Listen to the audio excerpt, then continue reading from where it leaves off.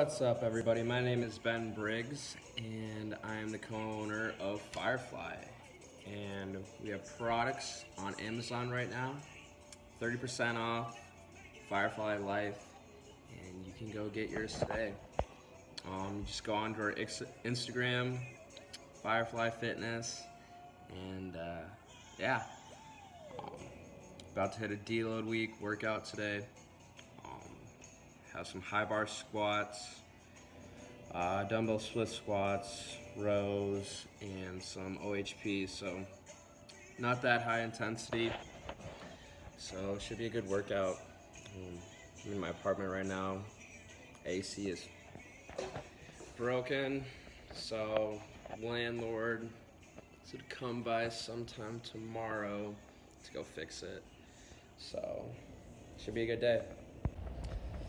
Currently walking to the gym. Uh, ate a quick lunch. It is currently 12:50 p.m. It's absolutely gorgeous out. I need to get outside more, get a tan because I am pasty. So, heading on over to Beyer. I currently go to school at Iowa State University.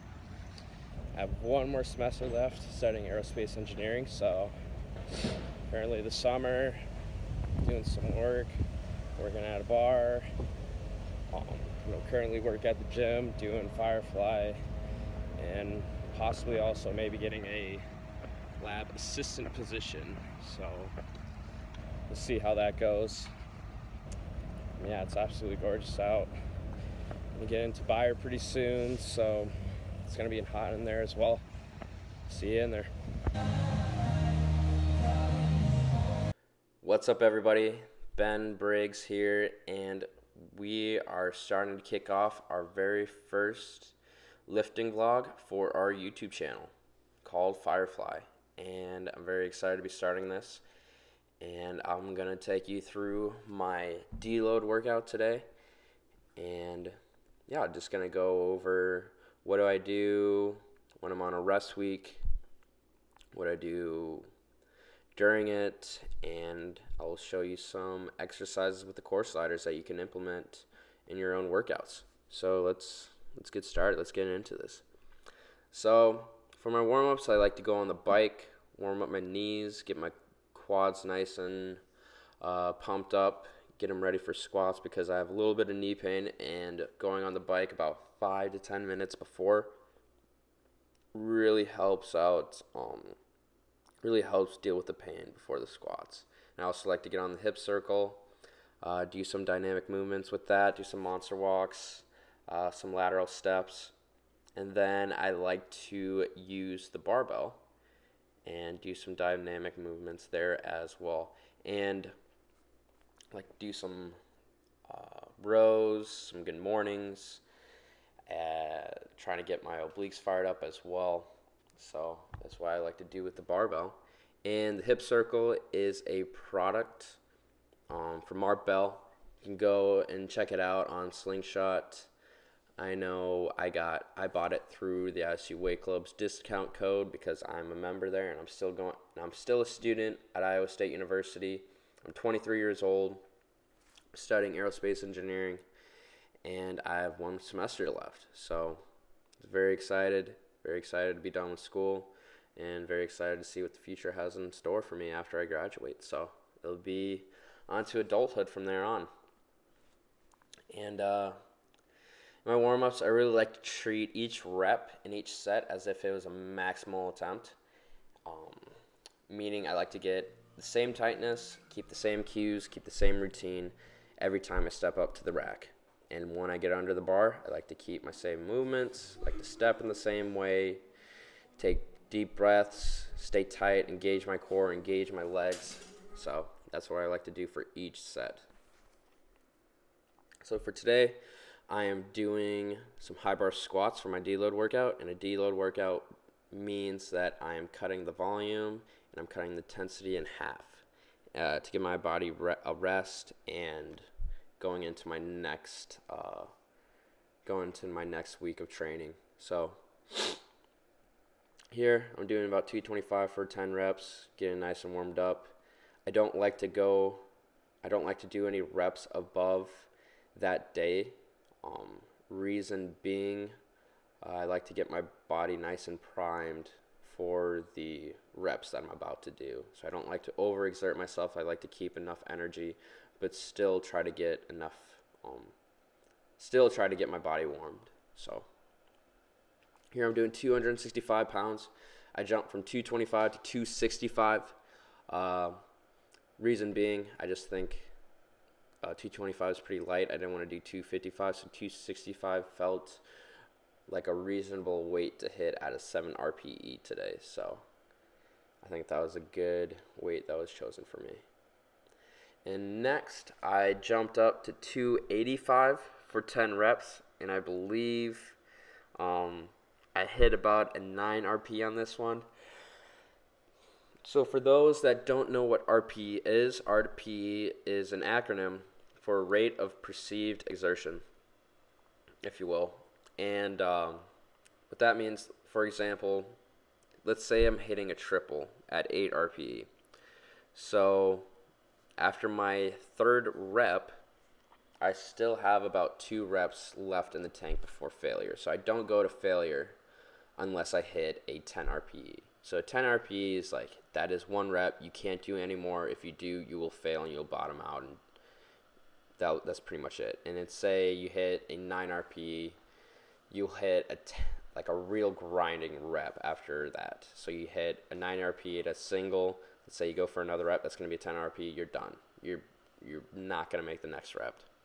And then seven is about three reps in the tank. Six is uh, basically you're leaving four reps in the tank, but you're not really. You're pretty much keeping the speed exactly the same, and pretty much that goes. Um, that's the same thing with seven RPE. So here I'm hitting tempo squats. I'm supposed to do five second descent, three second pause, and then explode on the way up. I don't necessarily think I hit those numbers today. Um, I think I descended too fast, and I think my pauses were definitely too fast. So definitely missed protocol on that one, and I'll be sure to be more disciplined going into the next week. Um, and that's it that's it for that. And um, after I hit these tempo squats, I go into accessories. What I do is I hit um, max work in 20 minutes. So I have three exercises, and they're all about 10 reps. I'm supposed to choose a weight for each, and I'm supposed to do as many sets as possible in 20 minutes. Um, it's very difficult. It kind of feels as if I'm doing a CrossFit workout. Um, so yeah, I mean, it it's good to get the blood mo- moving. Very good for sweat. Uh, so overall, it's a good workout. I really, I, I personally really like doing 20 minutes of work because it's fast paced. Really feel like I'm getting a lot accomplished. So a little rest. Um, and so yeah. I'd also like to talk a little bit about the company Firefly. We are a fitness company that was founded by Francis Kelly, and he came up with the idea. And he later brought me on and see if I wanted to take part of it, and I was more than ready to do so. He was already getting the Amazon stuff figured out with the core sliders, and took me on and see if I wanted to help with all of it. And what I'm doing is running a bit of the social media, helping with helping a little bit with Amazon. Francis has more of that taken care of, but I'm doing a lot of the outside stuff. I've tried to get some sales going on with Iowa State. Uh, try to get something going on with Ames Racquet and Fitness, but they weren't interested, which is totally fine. And um, provide some core sliders over to AI Supplements. Go check them out. Go check out AI Supplements. They have some awesome smoothies. They have some awesome supplements, and they give you some give you them for some awesome deals because they understand that college students don't have a lot of money and are actually quite cheap, so they make it very, very affordable to each person going in there. And that will conclude the lifting portion of the workout. And you will see Lucas Brady here. We like to call him the horse of the way club. Good friend of mine. So shout out to Lucas Brady, Seabiscuit underscore 800. And I'll take you to the core sliders. All right, so I finished the lifting portion of the workout. Um, I did some split squats, dumbbell OHP, and some rows.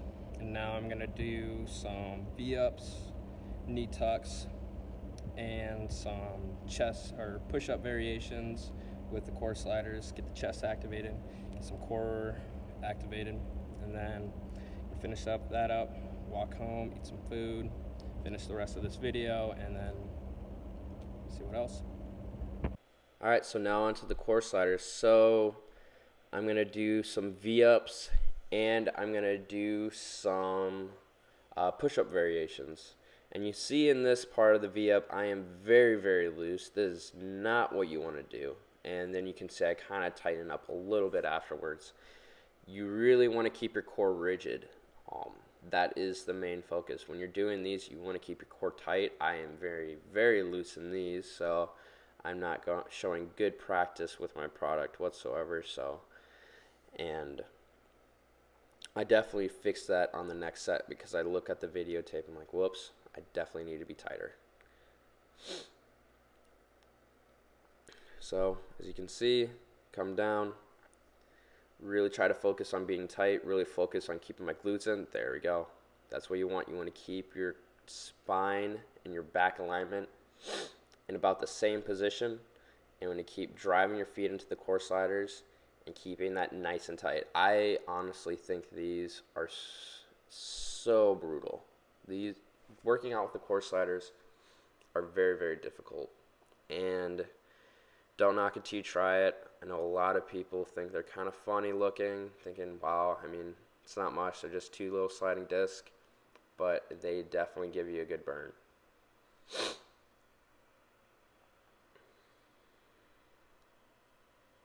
Yeah, I slip up a little bit there. And next, I'm going to do my push-up variation.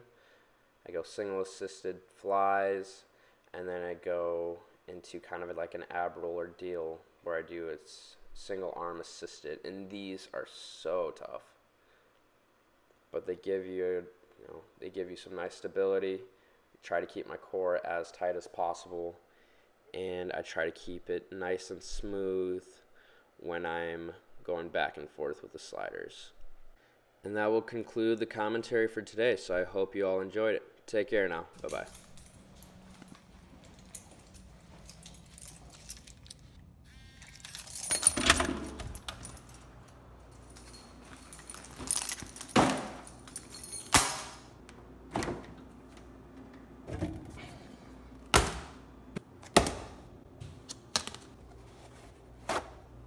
What's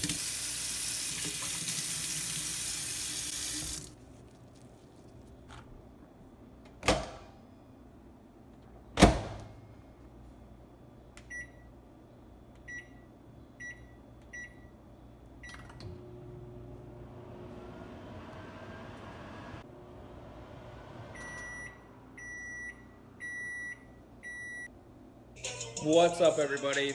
Um, just got done working out. Uh, got done eating a bit ago. Right now, I'm just working on some videos.